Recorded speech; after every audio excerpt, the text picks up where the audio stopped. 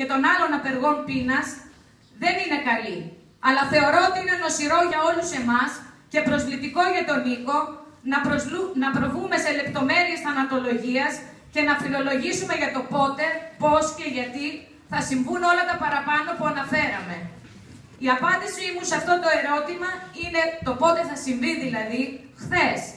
Είναι πολύ πιο νωρίς από την έναρξη της απεργίας πείνας του Νίκου Ρωμανού.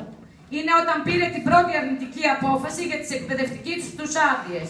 Και αυτό γιατί έτσι οδηγήθηκε ο, Νί, ο Νίκος στην απεργία πείνας, με ευθύνη όλων μας, με την απάθειά μας και τη μη αντίδρασή μας σε θέματα που προσβάλλουν θεσμούς της δημοκρατίας μας και θίγουν την αξιοπρέπεια των ανθρώπων, ανθρώπων στερώντας τους τις ανάσης ελευθερίας. Είναι βουλιαγμένη μέσα στην ιδιωτέλειά της και η διοίκηση ασκείται με αποστολή μηνυμάτων, όλο σημασία. Ο Υπουργός κ. Αθανασίου και η κυβέρνηση κάνουν πως δεν καταλαβαίνουν και θα είναι η μόνη υπέτη για αυτό που θα συμβεί από εδώ και πέρα.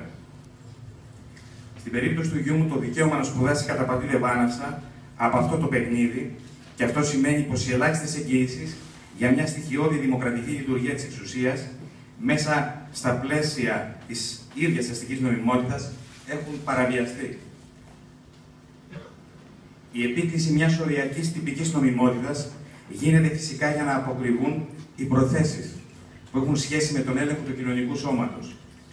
Αυτή η νομότυπη βία εκπροσωπεί και είναι η επιτομή της ηθικής των επιβιωσάντων της μεταπολίτευσης.